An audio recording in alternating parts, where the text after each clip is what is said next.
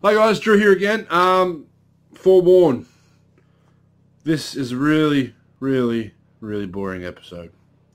Um, I know I don't really happy and excited or anything like that normally, but um, this is probably, yeah. Um, so leatherwork is really boring to watch on camera um, for someone who's, you know, to watch.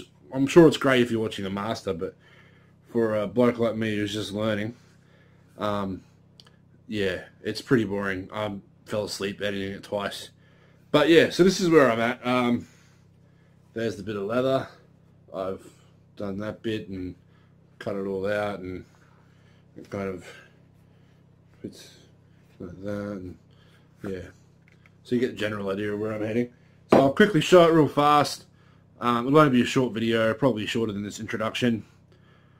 But uh, yeah, any questions, please let me know. I'll answer them. But for the rest of the project, I'll just do a time lapse, and I'll try and get something else cool in, or I can introduce you to a white fluffy puppy dog. Um, it's up to you. Let me know in the comments. I'm sorry. Ah.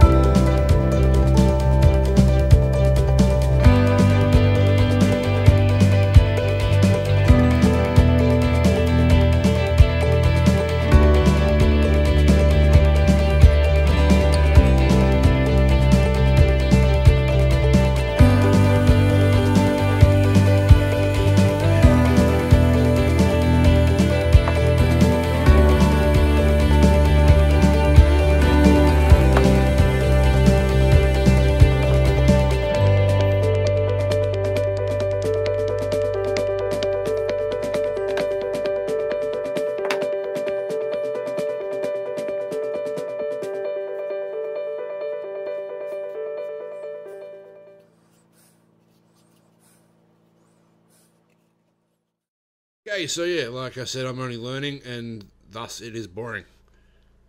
This video will just be a time lapse, so it'll take like a minute max.